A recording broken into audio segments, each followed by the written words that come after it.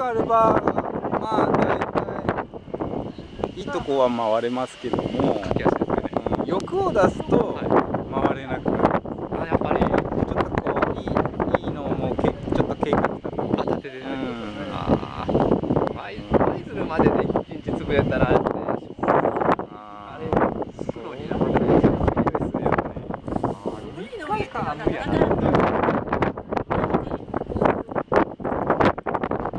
ったらめちゃくちゃですよね無理の上から無理やな前って青森に函館から来ているフェリーっていうのは